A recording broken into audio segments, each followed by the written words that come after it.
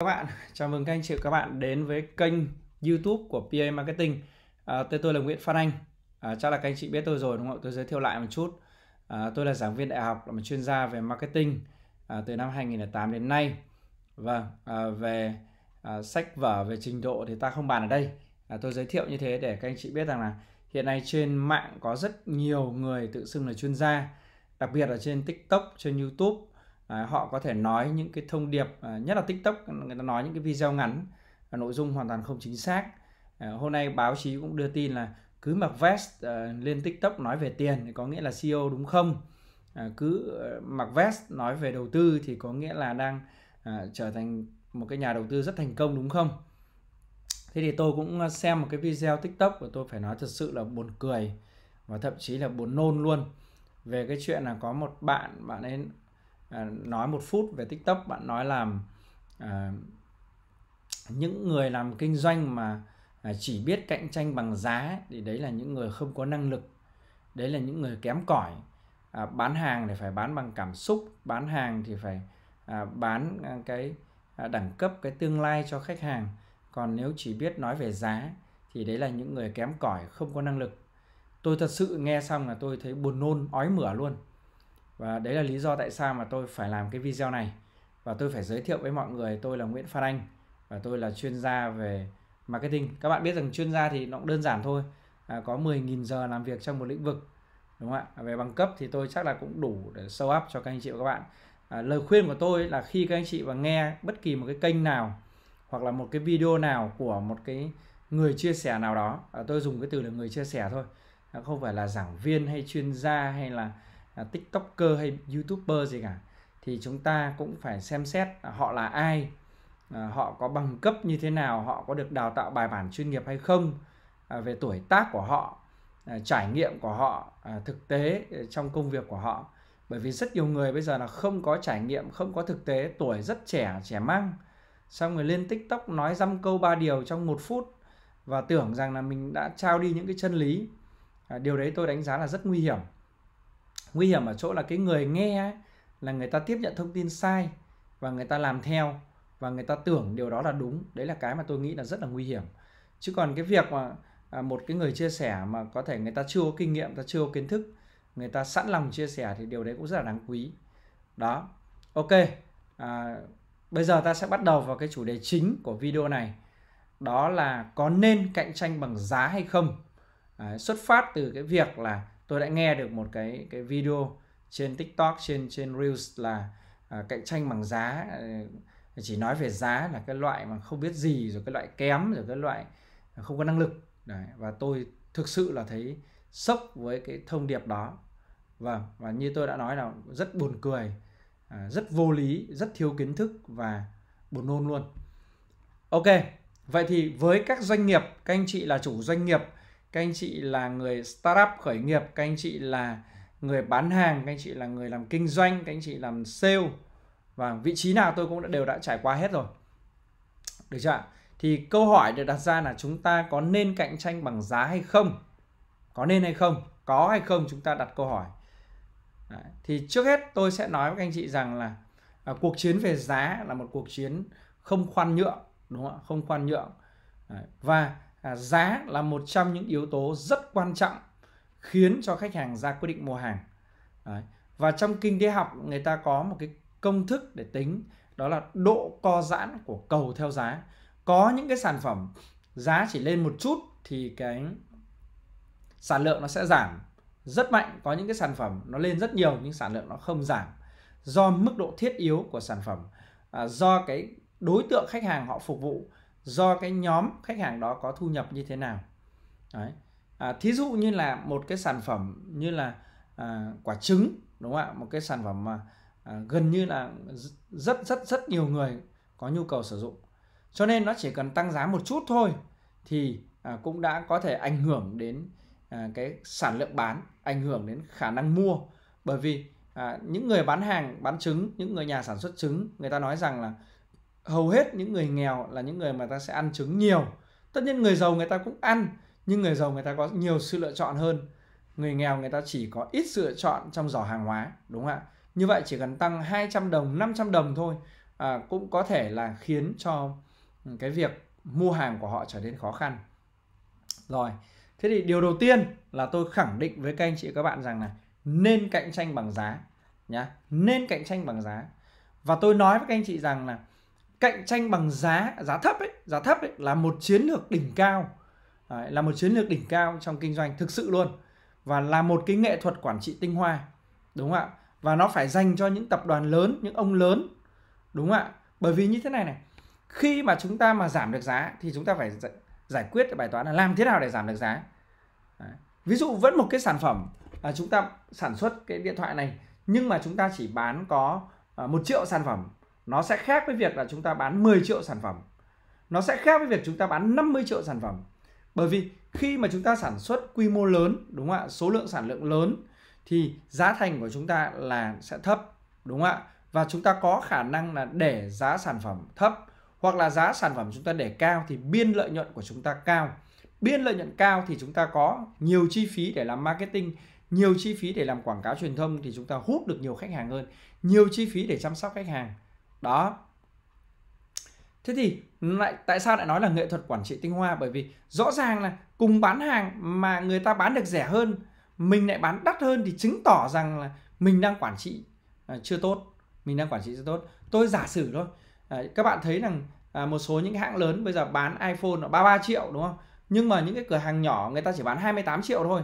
Thì à, họ vẫn có một lượng khách hàng nhất định để họ bán à, nó sẽ có những khách hàng người ta am hiểu về sản phẩm người ta không cần phải mua à, của những cái hãng lớn màu mè à, dườm ra tốn tiền đắt thêm 3 triệu 5 triệu mua những hãng nhỏ. Còn iPhone thì nó vẫn là iPhone rồi. Thì rõ ràng là hệ thống lớn của bạn bạn đang bành trướng bạn đang làm chi phí bán hàng tăng cao. Đúng không ạ? Vừa rồi kể cả thế di động à, à CEO của thế di động cũng nói rằng là sắp tới là họ sẽ phải đưa giá iPhone à, và các sản phẩm Apple về với giá bằng với thị trường bởi vì họ nhận thấy rằng là là thị trường đã bị đã bị rỉa, đã bị lấy mất một phần rất lớn bởi những cái người bán hàng giá thấp hơn. Câu hỏi được đặt ra là tại sao họ lại bán được giá thấp hơn, đúng không ạ? Cùng một cái sản phẩm iPhone, cùng một phiên bản, cùng một màu sắc, cùng một thời điểm. Rõ ràng là họ ăn ít lợi nhuận hơn và chính vì như vậy họ sẽ có khả năng cạnh tranh được. Hoặc là nếu mà nói về chiến lược quốc gia thì chúng ta thấy rằng là tại sao chúng ta không thể nào bán được hàng sang Trung Quốc Đấy, khi mà chúng ta cùng một cái sản phẩm như vậy Trung Quốc họ sản xuất rẻ hơn thì họ sẽ bán sang chúng ta. Hoặc là tại cùng Việt Nam với một cái sản phẩm như vậy khi chúng ta sản xuất ra thì chúng ta lại đắt hơn so với mặt hàng của Trung Quốc. Đấy, cho nên Trung Quốc họ là cường quốc về sản xuất đúng không? Ở cấp quốc gia chúng ta đã nhìn thấy rất là rõ rệt là rõ ràng là rẻ là một lợi thế cực kỳ lớn. Và Trung Quốc họ sản xuất cái gì cũng rẻ bởi vì số lượng của họ sản xuất cực kỳ lớn. Sản xuất cho Trung Quốc sử dụng sản xuất cho toàn thế giới sử dụng cho nên là họ có khả năng đưa giá thành về sản phẩm rất là thấp. Họ khấu hao được sản phẩm họ bán được sản phẩm à, với quy mô rất là lớn. Họ tối ưu được chi phí. Thế các ông lớn cũng như vậy. Chẳng hạn như là Walmart ở Mỹ đúng không ạ? À, các bạn biết rằng là Walmart hiện nay là một cái à, hệ thống siêu thị mà có khoảng 10.600 siêu thị trên toàn cầu. Trong đó à, ở Mỹ có khoảng 6.500 siêu thị lớn thế thì họ bán được giá rẻ hơn so với các hệ thống siêu thị khác bởi vì cái, cái, cái quy mô của họ rất là lớn họ có đến 10.600 sản phẩm. À, siêu thị thì khi họ mua họ đã đàm phán được giá tốt. Thậm chí với một cái khối lượng điểm bán lớn như vậy họ có thể là trực tiếp sản xuất sản phẩm họ bán luôn chứ họ không cần phải đi nhập nữa. Trừ những cái sản phẩm là ờ, họ ừ, sản lượng không đủ lớn để họ phải sản xuất họ sẽ đi nhập và tất nhiên nhập thì giá nhập cũng rất là rẻ rẻ hơn bạn rất nhiều. Nếu mà bạn chỉ có một hai siêu thị bạn nhập thì sẽ đắt. Bạn có 10 siêu thị bạn sẽ nhập rẻ hơn bạn có 100 siêu thị bạn sẽ nhập rẻ hơn nữa. Bạn có 1.000 siêu thị thì bạn sẽ rẻ hơn nữa đúng không ạ? Ở Việt Nam thì có Winmart đúng không? Thì họ nhập vào họ đã rẻ rồi. Thì họ bán ra họ bán giá bằng bạn thôi thì họ đã có biên độ lợi nhuận đủ lớn để có thể bù đắp những cái khoản chi phí nào đó. Cho nên ấy, thì ở đây tôi nói với các anh chị là cạnh tranh bằng giá thực chất là một chiến lược cạnh tranh cực kỳ tốt, cực kỳ đỉnh cao bởi vì à, tất cả các người mua hàng, kể cả người giàu, người ta cũng vẫn quan tâm đến giá. Các bạn đừng nghĩ rằng là các bạn bán một cái túi Gucci 100 triệu, người giàu không quan tâm đến giá. Không phải. Nếu như vẫn cái túi Gucci đấy chính hãng, đúng không ạ? Có hóa đơn đầy đủ chính hãng tuyệt đối, mà bạn bán 90 triệu thì người ta vẫn mua. Chứ không phải là cứ 100 triệu thì người ta mới mua. Nhưng mà nếu hàng nhái, hàng giả bạn bán 10 triệu thì họ mới không mua chứ còn hàng chính hãng hàng thật một chỗ bán 100 triệu chỗ bán 10 triệu hàng chính hãng hàng thật bảo hành bảo trì như nhau vân vân thì tôi nghĩ người ta sẽ mua à, của hàng à, chỗ rẻ hơn. Tranh nhau đến 10 triệu cơ mà tranh nhau đến 20 triệu cơ mà. Trừ khi là dịch vụ của bạn là quá là xịn sò đúng không ạ? Đấy. hoặc là à, ví dụ như là ví dụ như là cái à, Tesla hãng xe hơi Tesla của chúng ta vừa qua thì Tesla vừa rồi đã giảm giá khoảng 20% giá thành thì ngay lập tức đẩy được à, sản lượng bán nhiều hơn. À, khi mà họ giảm 20% giá bán họ đẩy được sản lượng bán. Thì chúng ta có thể Google search à, à, bằng cách là chúng ta à, search là cái sản lượng bán của Tesla trong cái à, năm vừa rồi là như thế nào cái quý 1 của 2023 là như thế nào. Đó thì à, rõ ràng là họ đang dẫn đầu thị trường và họ có biên độ lợi nhuận đủ lớn họ sẽ giảm thêm nữa giảm thêm nữa. Đấy, để họ tăng sức cạnh tranh à, trong bối cảnh mà các cái nhà sản xuất xe điện càng ngày càng nhiều lên. Đấy. và à, vì là một cái hãng tiên phong về sản xuất xe điện à, các bạn biết rằng là Tesla à, sản xuất một chiếc xe điện à, của Tesla chỉ mất có 10 tiếng đồng hồ. Trong khi đó Toyota sản xuất tiêu chuẩn một chiếc xe hơi mất 30 tiếng. Thì rõ ràng rằng là chi phí sản xuất của uh, Toyota hoặc là của các hãng khác nó sẽ có thể cao hơn Tesla. Cho nên Tesla nó có giảm được cái biên độ lợi nhuận. Vâng à, cho nên là chúng ta phải để ý cái điều đó. Vâng thế nên là cạnh tranh bằng giá là một cái chiến lược cạnh tranh cực kỳ tốt. Và để làm sao giá thành rẻ thì chúng ta phải quản trị à, kinh doanh quản trị nhân sự quản trị công nghệ thật là tốt. Chúng ta phải tăng được sản lượng bán. Đã, chúng ta phải à, có lợi thế về quy mô sản xuất quy mô bán hàng đúng không ạ? Chắc chắn rồi. À. chứ không phải nói là ờ, không biết gì về nói về giá, chỉ nói về giá đấy là những người ờ, thiếu năng lực rồi không có cảm xúc, không đúng, hoàn toàn không đúng. Đấy. cạnh tranh bằng giá là một chiến lược cạnh tranh cực kỳ khôn ngoan và cái chiến lược cạnh tranh à, rất là đỉnh cao. Và các doanh nghiệp lớn, các doanh nghiệp vừa và nhỏ muốn làm được thì phải nghĩ đến điều này. Đấy, tìm mọi cách để cắt giảm được chi phí, nhưng không đánh đổi về mặt chất lượng. Nhớ nhé cắt giảm chi phí không được được cắt giảm đánh đổi về chất lượng. Thí dụ như là bây giờ bạn sản xuất ra một cái sản phẩm bền tốt đẹp xịn mất là 10 triệu đúng không bây giờ bạn sản xuất sản phẩm kém chỉ mất 5 triệu.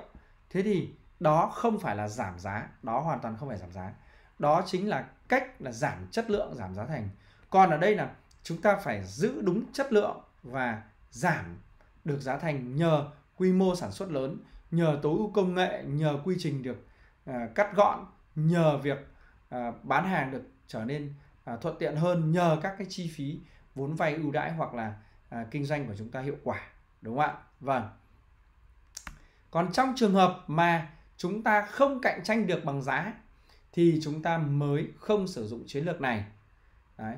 ví dụ như là khi nào thì không nên chúng ta cạnh tranh bằng giá hoặc là không cạnh tranh bằng giá Đấy. khi mà chúng ta không có lợi thế về giá nhá không có lợi thế về giá tức là ví dụ chúng ta nhập đã cao rồi đúng không ạ? Đấy, chúng ta không thể giảm được giá. Đấy, hoặc là uh, chi phí sản xuất của chúng ta cao uh, do nguyên liệu đầu vào cao uh, do công thức đặc biệt do uh, cái cấu thành sản phẩm do cái chất lượng sản phẩm nó cực kỳ tuyệt hảo thì chúng ta sẽ không cạnh tranh về giá. Mà chúng ta sẽ tìm những lợi thế cạnh tranh khác. Cụ thể ở đây là chúng ta sẽ cạnh tranh về thương hiệu về chất lượng dịch vụ về trải nghiệm khách hàng đúng không ạ? Về à, chăm sóc khách hàng vân vân. Đó. Thí dụ như là à, chúng ta thấy rằng là à, iPhone đúng không? Họ có thể sản xuất giá rẻ nhưng càng sản xuất điện thoại iPhone giá rẻ thì họ sẽ không bán được. À, rất ít người muốn mua iPhone giá rẻ. Càng phiên bản càng đắt tiền thì họ lại càng muốn mua. Đó. Hoặc là khi chúng ta bán các sản phẩm xa xỉ sản phẩm đắt tiền sản phẩm dành cho người giàu à, sản phẩm siêu xa xỉ. À, ví dụ như là cái chiếc đồng hồ của hãng Patek Philippe chẳng hạn đúng không? Đấy, thì hoặc là Richard Mille thì nó có thể có vài chục nghìn đô vài trăm nghìn đô thậm chí cả triệu đô một chiếc đồng hồ. Họ cứ bán như vậy họ không bán rẻ. Khi họ không lựa chọn chiến lược cạnh tranh bằng giá. Mà cái chiến lược của họ lúc này là họ định giá thật cao bán thật đắt thì đó cũng là một cái trong cái ngoặc kép nào đó là cũng cạnh tranh bằng giá nhưng mà giá ngược tức là giá rất cao. Đấy. hoặc là bạn có lợi thế về độc quyền. Độc quyền tự nhiên đúng không ạ? Độc quyền thị trường độc quyền hoàn hảo thì bạn mới không cạnh tranh bằng giá bạn sẽ định được giá cao. Đó. Còn bình thường thì nếu được thì bạn vẫn có thể cạnh tranh bằng giá. Đó là một cái hướng cạnh tranh rất là tốt. Vâng. Thì video này thì tôi chỉ giải quyết một cái câu hỏi là có nên cạnh tranh bằng giá hay không? Và có hai tình huống chính. Đó là nên trong trường hợp là các bạn có lợi thế. Đấy, và đây là một cái cách rất là tốt. Còn không nên trong trường hợp bạn không theo đuổi chiến lược này và bạn có những cái à, cách thức khác. Tuy nhiên kể cả dù dịch vụ của bạn tốt chất lượng của bạn tuyệt hảo thì bạn vẫn có thể tính đến chuyện giảm giá thành để tăng sản lượng. À, đó là những cái chiến lược phù hợp với các bạn trong từng thời điểm.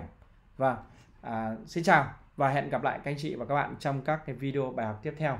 Và nhớ theo dõi kênh PA Marketing của tôi.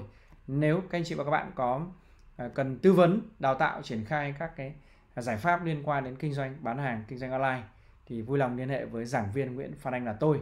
Số điện thoại là 0989 62388 0989 62388 được chưa ạ? à, email là phananhonline.gmail.com phananhonline.gmail.com rồi xin chào.